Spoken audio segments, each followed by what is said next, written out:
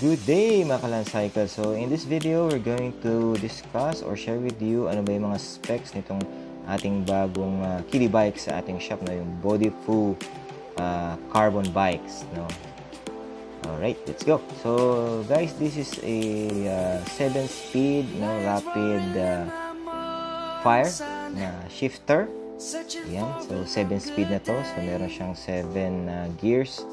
1 by ang setup niya uh, standard naman yan sa mga bikes na katulad nito.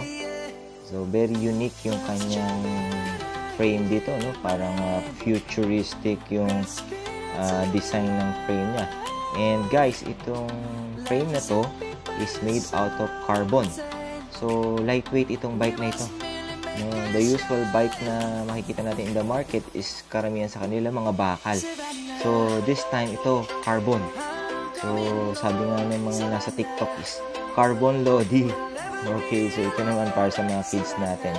So, when it comes to durability, carbon is talagang well-tested naman yung mga to na matitibay talaga. No?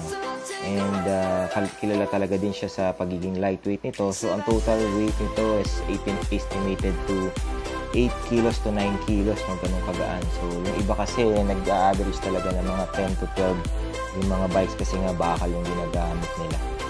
Okay, so looking for a budget bike for your kids. So ito na yun. So for only 5,900.